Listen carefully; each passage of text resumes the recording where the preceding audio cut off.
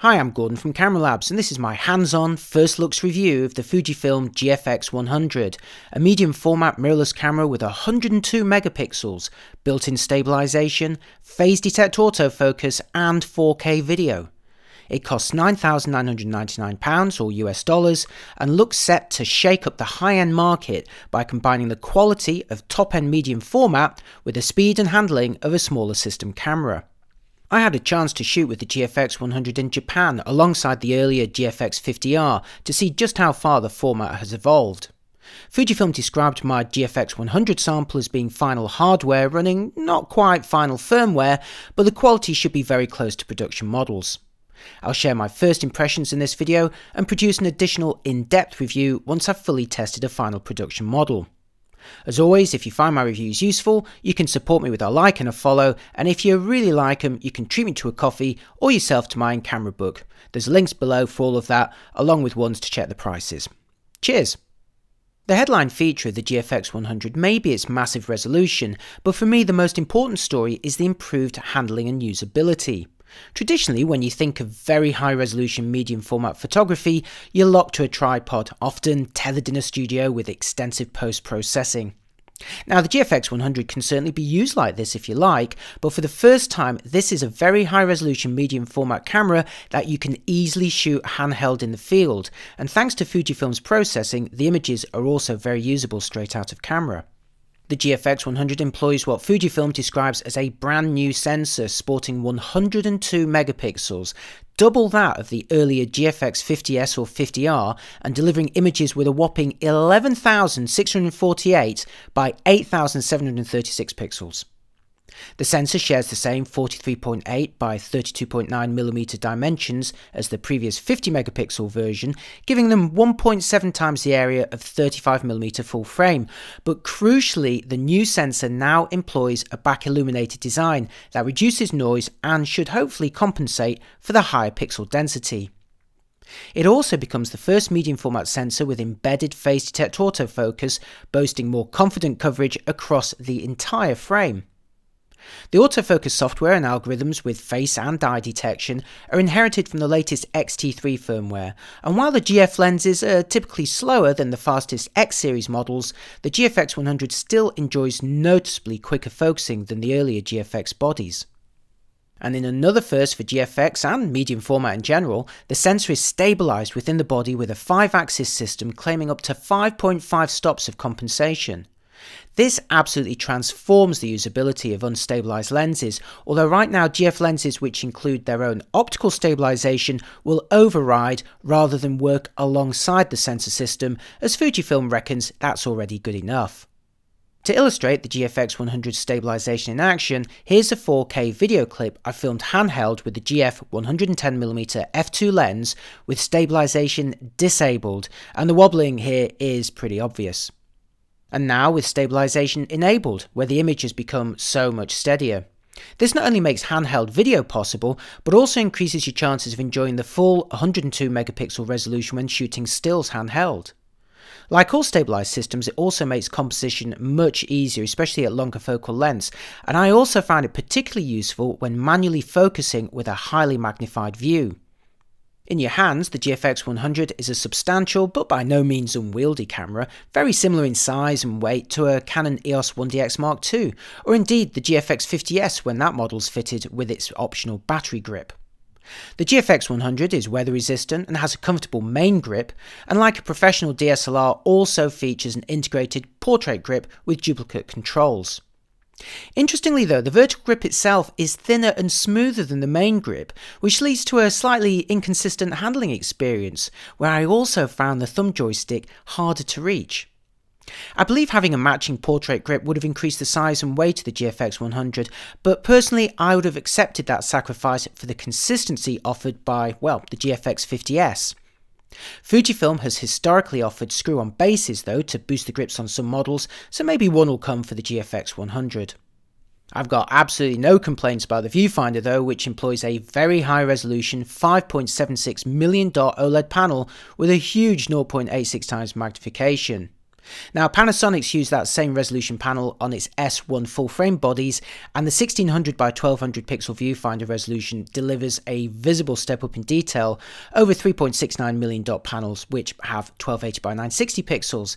But it's the size and correction on the GFX 100 which really impresses. It's easily the most immersive and best quality electronic viewfinder I've ever used, and you can see it in action here with face and eye detection also active. It's also removable, allowing you to save space or mount it on the optional tilt adapter first seen on the GFX 50S, although sadly GFX 50S owners won't be able to use this new viewfinder as an upgrade. The GFX 100 employs a 3.2 inch touchscreen that shares the same three-way tilting mount as the GFX 50S and XT3. You can angle it up by 90 degrees for low level shooting, although that viewfinder head will obstruct some of the view. You can of course slide off the viewfinder head for a clear view when shooting at waist level, but I'd have preferred the amount that allowed the screen just to be pulled away a bit further from the body, making it quicker to shoot discreetly on the street without pulling that viewfinder on and off. Moving on, the screen can angle down by 45 degrees for easier composing at high angles, and by pushing a button on the left side you can flip it out sideways, making it easier to compose at low angles in the portrait orientation. And notice how like the X bodies, the shooting info also considerately turns to stay upright. Unsurprisingly, it won't flip to face forward, but I think owners will be perfectly satisfied by the articulation on offer. The top surface is notable for the absence of traditional dials and the presence of a generous submonitor which displays the most recent settings when powered off. Switch it on and it refreshes with a button that lets you reverse the display for easier legibility. Notice the wealth of information including icons for both batteries, and I found it easy to view in direct sunlight or dim conditions.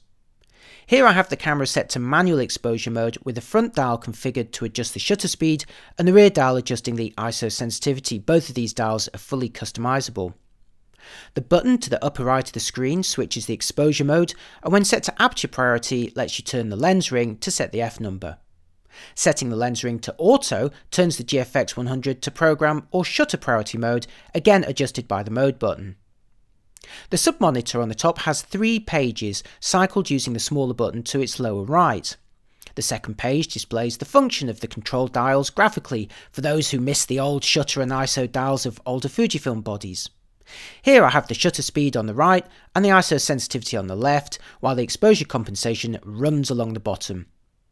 Then the third viewing page devotes the entire 1.8 inch 303 by 230 LCD screen to displaying a live brightness histogram. That's fun, isn't it? I really enjoyed using the upper LCD submonitor and quickly got to grips with the new exposure and mode adjustments. The other side of the main interface is the lockable drive dial on the left, which lets you switch between still photos, multi, which includes bracketing options, and movie. And notice how the submonitor screen switches to show the video settings, which are completely independent from the still photo settings. Now something similar was possible on the XT3 and XT30 when you use the silent movie controls because you could set those to ignore the physical dials, but by separating stills and movies here is even more intuitive. Cleverly, the drive button itself also presents options relevant to the particular mode, so when set to still, you can choose between single or the two continuous drive modes, the latter offering up to 5 frames per second or 2 frames per second with live view. Turn the dial to multi and the drive button presents all of the bracketing and multiple exposure options gathered together for neatness. Then turn the dial to movie and the drive button presents the video quality page. By presenting these relevant options, this approach lets you quickly get to where you need to and minimises delving into menus. Turning to the rear of the camera, you can see the thumb wheel, a small dial for setting the autofocus mode, and an AF joystick. Most of the rear controls seem inherited from the X bodies though, where I already considered them unnecessarily small, and here even more so. There's loads of space on the rear surface, so why not deploy larger buttons, dials and joysticks for easier operation, especially when wearing gloves. And while there is gesture recognition on the screen if you want it, I see nothing wrong in also including the traditional cross keys on the back, since there's room after all.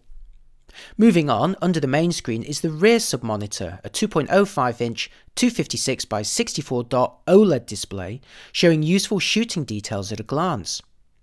There's four page options, but unlike the top submonitor, no handy button to easily cycle through them. Instead, you'll need to dive deep into the menus to find the rear submonitor options, which seems a bit inconvenient to me. Hopefully it can be assigned to a custom function with a firmware update.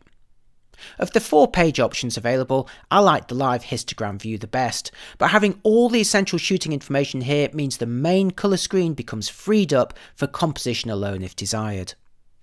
On the right side of the body are twin SD card slots. The huge file sizes could have made an argument for a faster format, but equally, SD gives you access to the largest capacities at the cheapest prices, so I'm happy with the decision. Behind a couple of flaps on the left side are the ports, starting with a 3.5mm microphone and headphone jacks at the top. Below these is a USB-C port running at 3.2 speeds and I'm delighted to report also able to charge the battery in camera or power the camera while in operation and you only need a tiny bit of charge in one of the batteries for that to work. Below this is a micro HDMI port which can output 10-bit 422, although given the size of the camera, surely there'd have been room for a more robust full-size port, right? And at the bottom, there's a DC input for powering the camera with an optional adapter, although again, you can alternatively power it over USB if preferred, and it'll work with a power bank. In terms of wireless, there's Wi-Fi controlled by Bluetooth, and like the recent X bodies, you can pair the camera with your phone to seamlessly tag GPS locations as you shoot. I did this for many of my sample images. Fujifilm powers the GFX 100 with a pair of NP T125 batteries, the same used in the GFX 50S and 50R, although there's two of them here, housed in a tray which slides into the portrait grip. These effectively double the battery life from the 400 shot quoted rating of the previous bodies to 800 shots here. Again, the batteries can be charged in camera over USB and support rapid charging with sufficient current. During my initial test with two batteries, I managed around 3 or 400 shots with several minutes of video, lots of Bluetooth tagging, and plenty of playback. In the absence of cross keys on the back, you'll be using the joystick to navigate the menus, and under the image settings, you'll notice a wealth of aspect ratios, including a new 65 to 24 panoramic option. These all crop the image, but there's still plenty of pixels to play with. Under image quality, you can choose three JPEG compression levels, recorded with or without a RAW file, or of course RAW by itself if preferred. Superfine JPEGs measure between 40 and 60 megabytes.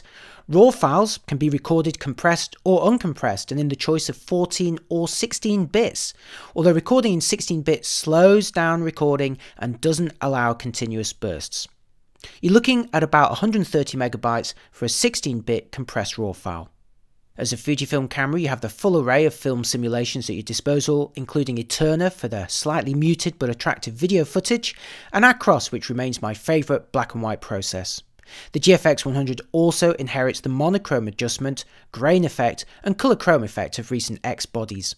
Meanwhile, the smooth skin option does just that, subtly smoothing skin areas in portraits without losing the biting resolution you want around the eyes. It's a considerate option with the unforgiving resolving power here. Okay, now for a selection of photos I shot with the GFX 100 using either the GF 32-64mm f4 or GF 110mm f2 lenses, and they're all JPEGs straight out of camera, no processing or adjustment. Again, Fujifilm asked me to describe my GFX 100 sample here as having final hardware, but non-final firmware. So while I believe the image quality is very close to final, there may be some enhancements to it or to handling. As you can see, the resolution on offer is outstanding, but what's equally important here is the usability.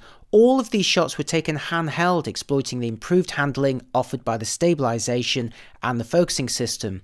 Now, don't get me wrong, you still have to shoot fairly consciously if you want to maximize the potential, but in my time with the GFX 100, I was struck by how much it handled more like a smaller system camera than a traditionally slow medium format model.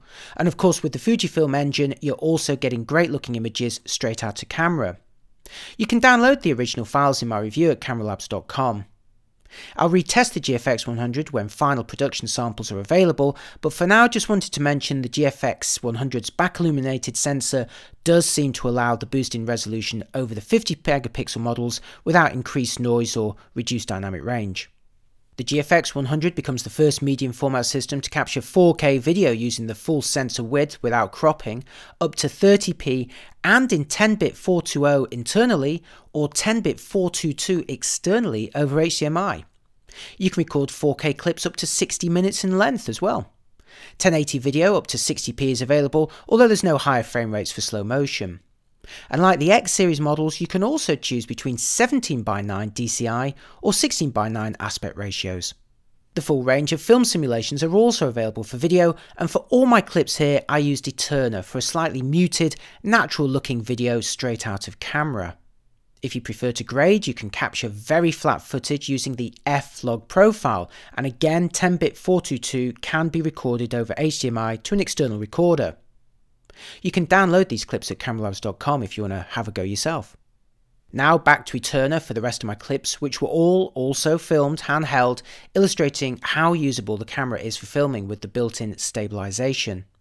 The GFX 100 oversamples 50 megapixels worth of data to generate a 4K frame, which results in plenty of detail. Since the camera starts with 76 megapixels though when shooting in 16x9, I assume there's some line skipping to get to 50 to get started, but the results still look very good. I was very impressed by the camera's stabilisation when it came to video. All the clips I've shown you here, again, filmed handheld, pretty casually too. As you can see, it also does a respectable job when walking along, and I wasn't taking particular care over how I was stepping either. Hmm, that makes me wonder, could you walk and talk with the GFX 100? Dare I say the V word? Go on, indulge me for a minute. Hello, I'm Gordon from Camera Labs and this is a quick vlogging test with the Fujifilm GFX 100. Yes, I'm actually trying to vlog with a 100 megapixel medium format camera that costs $10,000. I don't want to say that too loudly on the streets. Um, now, of course, you'd be absolutely bonkers to vlog with this. I mean, it weighs one and a half kilograms almost with uh, no lens. It's obviously very expensive. The screen doesn't face forward. Um, but there are a couple of reasons why you might want to film pieces to camera with it. First of all is that giant sensor. I'm filming 4K at 25p here, and the camera does that with um, 50 megapixels worth of information over samples, so the quality can look very, very good. It also has built-in sensor shift stabilization. That's all I'm using now to stabilize this image. I'm using the 32 to 64 millimeter zoom here a 32 millimeter f4. That nice big sensor also, of course, giving you a very shallow depth of field effect, even at 32 mm f4. It also has phase detect autofocus across the entire sensor. Now, I'm filming with a pre-production model here, and I noticed that the autofocus wasn't as good as it could be for videos, so please forgive it if it's not looking perfect right now, but it should do, hopefully, by the time it hits the shelves. So, would you vlog with this camera? My arms are already aching, and I'm getting very funny looks, even funnier than normal, so I'm going to get on with the rest of the review. See you later. Just before wrapping up, a quick note on rolling shutter for stills and video. The GFX 100 does have an electronic shutter option to shoot silently, but beware as the readout speed will result in skewing if you or the subject are in motion. Here's a shot I took with the default electronic first curtain while panning across the scene where there's no issues other than some motion blur due to my shutter speed. And now here's one using the fully electronic shutter under the same conditions where the skewing is pretty bad. So like most electronic shutters, fully electronic shutters do use it with caution. I was concerned this would be reflected for video, but Fujifilm's approach to reading and processing the data is actually much more forgiving. In this clip, the rolling shutter effect is much reduced and comparable to many smaller system cameras. Even in this clip, filming out of a moving train window, the skewing doesn't look too bad. What do you think of the video footage from the GFX 100? Let me know in the comments. With the GFX 100, Fujifilm's medium format mirrorless system truly comes of age. The previous GFX 50S and 50R were certainly desirable cameras, capable of excellent results, but their resolution was matched and their overall handling beaten by the best of the full frame mirrorless models out there. The GFX 100 changes all of that. The headline resolution of 102 megapixels from a back illuminated sensor delivers a significant step up in detail without compromising noise or dynamic range, something a full frame body would struggle with. But for me, it's the combination of built in stabilization, phase detect autofocus, and respectable 4K video that transforms the overall experience and makes it a considerably more attractive option than before. The built-in stabilization allows you to achieve the full potential of the sensor when shooting handheld and makes it surprisingly usable for video shooting. Now you still have to be careful, but this is a camera that feels very comfortable and confident in your hands and away from a studio. Embedded phase detect autofocus across the entire frame roughly doubles the focusing speed over the earlier 50 megapixel GFX bodies, and while the GF lenses mean it's still not as fast as the quickest X series combos, it still feels so much more responsive than traditional medium format. And the oversampled 4K video is a huge improvement over the 1080p footage from the original GFX bodies. Throw in a new and mostly sensible approach to mode and drive selection, along with the best quality viewfinder I've ever used, and you have a very impressive camera indeed. Sure, there's a couple of misses. I know the portrait grip was slimmed down to save size and weight, but I'd have sacrificed size for a more consistent experience with the main grip. I also feel many of the buttons, dials and wheels, especially on the rear, were unnecessarily small, especially given the real estate on offer, and that rear sub-monitor screen really needs a button to cycle through its views. The face and continuous autofocus also performed variably on my sample, but it wasn't running final firmware, so the handling may improve, and even if it doesn't, it's still way better than the GFX 50 and other medium format bodies.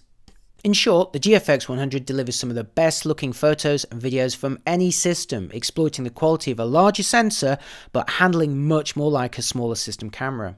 Again, I was struck how little it felt like shooting with a traditional medium format camera in terms of handling, at least until you came to play back the images and looked at that wealth of detail that had been captured. This step up in quality over full frame, coupled with a considerably better handling experience than earlier medium format bodies, means the GFX 100 is also the body that GFS lenses have been waiting for. Yes, it's not cheap, and no, it's not a sports camera, but Fujifilm has still managed to deliver the most usable and arguably the most desirable medium format camera to date, and one that has compelling reasons to step up from full frame for those with a desire for the best quality and, of course, the budget to pay for it. That's it for this first looks review. I'll be following it up with a final in-depth review when production bodies are available, so look out for that. And in the meantime, my downloadable sample images and videos can be found at cameralabs.com. You know what comes next. Please like, subscribe, and if you're feeling extra kind, shout me a coffee or treat yourself to my in camera book. There's links below for all of that, as well as for checking the latest prices. Thanks for watching, and I'll see you next time. Bye.